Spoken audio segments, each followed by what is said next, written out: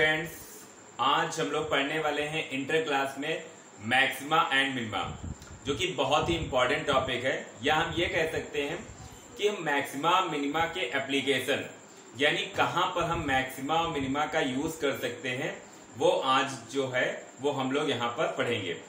तो सबसे पहले हम जो है, वो क्वेश्चन देखते हैं और उसके बाद हम उसको सॉल्व करते हैं। तो क्वेश्चन देखते हैं कि क्या है?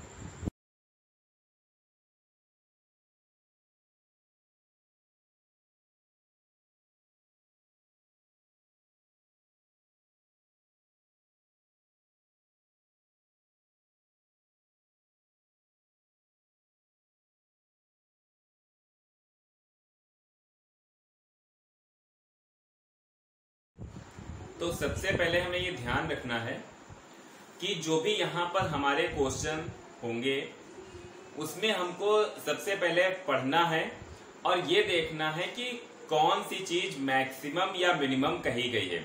यानी उच्चतम, अधिकतम, न्यूनतम, कम से कम क्या चीज़ कही गई है। वो हमारा क्या हो जाएगा फ़ंक्शन और फिर हम देखेंगे कि फ़ंक्शन में अगर एक से ज़्यादा वेरिएबल हैं तो हमें एक ही वेरिएबल में कन्वर्ट करना होगा। और उसको कन्वर्ट करने के लिए या तो क्वेश्चन में कोई कंडीशन गिवन होगी, या तो फिर कोई कंडीशन हम जानते होंगे। तो जैसे यहाँ पर जो कहा गया है, वो हम जो है, वो पहले लिखते हैं। तो यहाँ पर कहा गया है कि ये कौन है, यानी शंकु है, ये।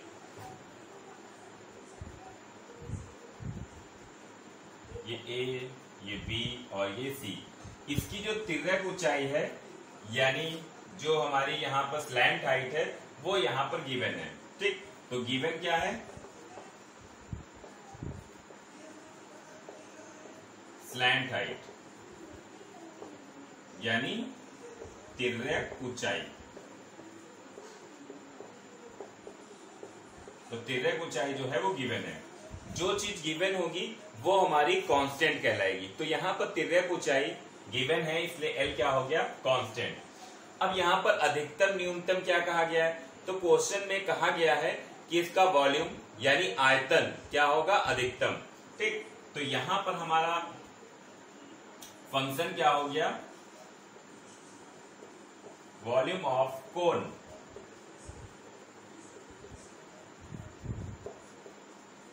यानी शंकु का आयतन, क्योंकि ये क्वेश्चन में क्या कहा गया है? अधिकतम।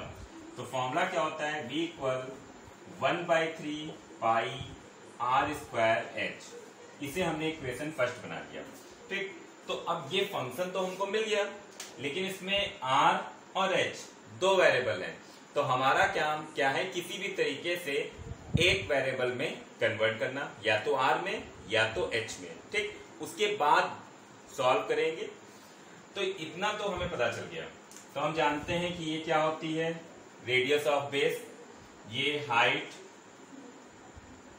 और ये हमारा क्या कहलाता है? सेमी वर्टिकल एंगल यानी अर्थ सील्स कोड तो ये हमने क्या मान लिया? एल्फा मान लिया। ठीक। अब हमें चेंज करने के लिए, अब हम एक कंडीशन क्वेश्चन में क्या गिवन है? एल ठीक तो ये एल कांस्टेंट हो गया। हम जानते हैं, क्या जानते हैं? वी नो दैट देखिए, ये ट्रायंगल कैसा बनता है? राइट एंगल ट्रायंगल समकोण त्रिभुज तो हम यहाँ से कंडीशन क्या जानते हैं? L square equal H square plus R square ये कोण के बारे में हम कंडीशन को जानते हैं। तो एल गिवन है, ये कांस्टेंट हो गया। अब देखिए, जो हमारा फ़ंक्शन है, यानी शंकु का आयतन, उसमें आर स्क्वायर है एच है। तो हम एच की वैल्यू यहाँ से निकाल सकते हैं या आर की? देखिए अगर यहाँ से एच की वैल्यू निकाली तो रूट में आएगी। तो क्वेश्चन हमारा कठिन हो जाएगा। तो हम यहाँ से आर स्क्वायर की वैल्यू कैलकुलेट करेंगे। तो आर स्क्वायर की वैल्यू कितनी हो गई? L square minus H square ये हम क्या करेंगे? इक्वेशन फ़र्स्ट में रख देंगे। तो v इक्वल कितना? One by three pi R square किए गए L square minus H square और इंटू एच ठीक। तो हमने क्या किया? इसमें आर स्क्वायर की वैल्यू जो है वो पुट कर दी। तो v equal one by three pi L square H minus H cube ठीक? अब देखिए, h और l, यहाँ पे दो चीज़ें आ रही हैं।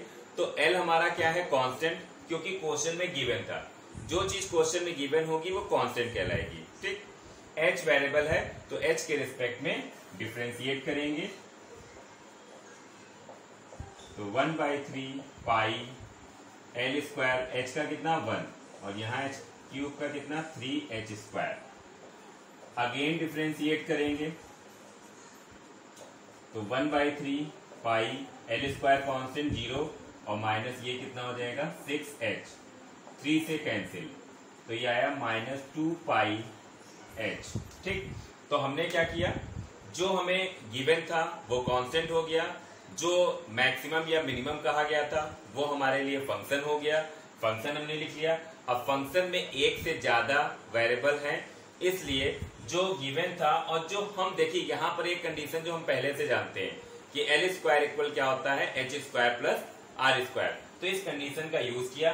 क्योंकि एल गिवन है कांस्टेंट हो गया। तो यहाँ से आर स्क्वायर की वैल्यू निकाली और जो वॉल्यूम होता है, उसके फॉर्मूले में रख दी। एच में हमारा फ़ंक्शन बन गया क्योंकि एल कांस्टेंट है। हमने एच के रिस्पेक्ट में एक बार डिफ्रेंशिएट किया और अगेन डिफ्रेंशिएट किया। ठीक? अब हम आगे का क्वेश्चन सॉल्व करेंगे। तो यहाँ तक सभी लोगों को अच्छी तरह से समझ में आ गया होगा। नहीं आया तो उसको पीछे करके फिर से समझ लीजिएगा। अब हम आगे क्या करेंगे? फॉर मैक्सिमम वॉल्यूम तो फॉर मैक्सिमम वॉल्यूम यानी वॉल्यूम के मैक्सिमम होने के लिए dv upon D H equal zero तो dv अपॉन डी एच क्या था? One by pi L square minus three H square equal zero ठीक? तो ये तो ज़ीरो हो नहीं सकता है कांस्टेंट है। ब्रैकेट को ज़ीरो किया। L square equal three H square यहाँ से एच की वैल्यू निकाली तो कितनी हो गई? एल अपॉन रूट थ्री ठीक? ये एच की वैल्यू निकाली। At H equal L upon root three तो D two V upon D H two कितना आया था हमारा ये? माइनस का टू पाई एच तो ये माइनस टू पाई और एच की value L upon root three ठीक? ये सब तो कांस्टेंट है. एल क्या है हमारी? स्लैंट हाइट तो हाइट तो ऑलवेज हमारी क्या रहेगी? पॉजिटिव रहेगी. तो ये पूरी वैल्यू क्या हो गई? लेस देन ज़ीरो तो D two V upon D H two हमारा क्या हो गया? लेस देन ज़ीरो, यानी फ़ंक्शन हमारा क्या हो गया? मैक्सिमम, यानी वी तो वी इज़ मैक्सिमम इसका मतलब volume of cone is maximum यानी शंकु का आयतन जो है, वो हमारा क्या हो गया? अधिकतम हो गया। ठीक? तो अधिकतम हो गया, ठीक? यहाँ तक तो प्रूफ हो गया। अब हमें यहाँ पर प्रूफ क्या करना है? कि जो हमारा थीटा है, ठीक? जो हमारा थीटा क्या? एल्फा जो हमारा अर्थ सीरीज़ कोड है एल्फा ये हमको प्रूफ करना है टेन इनवर्स रूट थ्री ये हमें प्रूफ करना है, ठीक? तो इसको प्रूफ करने के लिए हम क्या करेंगे? जो हमने कंडीशन लिखी थी, क्या कंडीशन लिखी थी? R square equal L square minus H square यही तो लिखा था, ठीक? तो यहाँ से हम क्या करेंगे? जो एल स्क्वायर की वैल्यू थी। एल स्क्वायर की वैल्यू कितनी आई?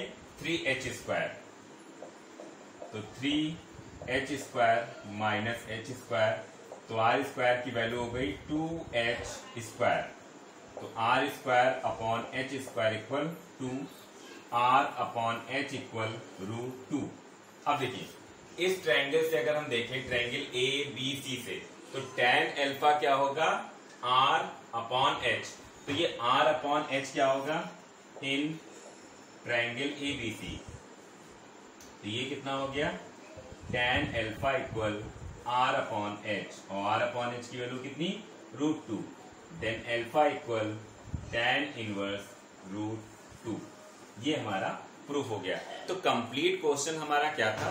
कि अगर हमें स्लैंड हाइट गिवन है किसी कोन में तो फिर जो उसके कोन का अगर आयतन जो है, यानी वॉल्यूम जो है वो मैक्सिमम होगा तो फिर जो उसका सेमी वर्टिकल एंगल है, यानी अल्फ़ा वो टेन इनवर्स रूट टू होगा, ये हमें प्रूव कर दिया।